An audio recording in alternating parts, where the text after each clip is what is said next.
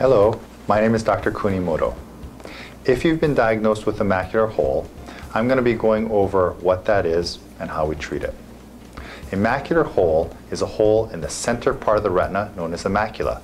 It causes decreased central vision. So when people fixate on objects, it is that vision, which we call the central vision, and that is a vision that's decreased with a macular hole. If you've been diagnosed with a macular hole, you will notice decreased central acuity. What that means is your fixation vision will be decreased. Your peripheral vision will be intact, but your fixation will be decreased. Some people will notice a blind spot. Some people will notice uh, distortion, such as straight lines looking a little wavy. Some people will just know, notice a portion of their central vision being missing. The reason that a macular hole forms, the mechanism by which it forms, is by tangential traction. What I mean by that is there's traction along the plane of the retina. Uh, I'm going to give you an analogy. If you think of a tissue paper, and if you place your fingers all along the edge of that tissue paper and start pulling that tissue paper apart, at some point it's going to rip. In the retina, where the, where the retina rips is in the central part, which is the weakest part, in the macula hence a macular hole.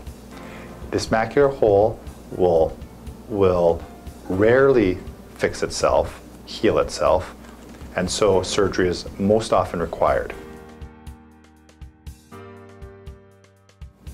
The way we do macular hole surgery is to do what's called a vitrectomy. A vitrectomy is a common procedure for a retina surgeon and allows us to do many other types of procedures. In particular with a macular hole, what we do is do a vitrectomy followed by a peeling of what's called the internal limiting membrane. By removing that membrane and by adding a gas bubble, this can often facilitate the closure of a macular hole.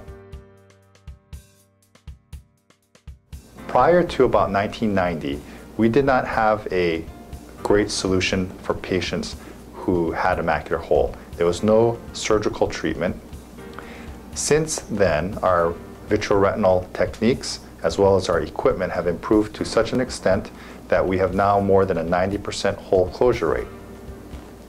Closing a macular hole, however, does not mean restoring perfect vision. Oftentimes, patients are still left with some distortion or blind spot. However, many patients see an improvement, and most importantly, by, by closing that macular hole, vision will not get any worse. Macular hole surgery is quite delicate surgery, and in fact, from the patient standpoint, the hardest part is not the surgery, it's what you have to do following the surgery. It's going to be important to position your head in a face down position. Your surgeon will direct you as to how long, how many hours per day that's going to be required. It will vary from surgeon to surgeon and from macular hole to macular hole. There are also risks with macular hole surgery, as with any surgery. The main risks of incisional surgery in this case are infection, bleeding, glaucoma, uh, retinal detachment. In addition to this, there will be cataract progression if you have not already had cataract surgery. We do not consider this a risk. This is a natural outcome of having surgery in the eye and the treatment for cataract formation is cataract surgery. So if you have not had cataract surgery and require macular hole surgery, your surgeon will advise you on the need for cataract surgery when the time is, is right. Here at Retinal Consultants, we have extensive experience in this type of surgery. Please do not hesitate to ask us any questions along the way as we understand that this can be a very disconcerting and anxiety-provoking uh, diagnosis.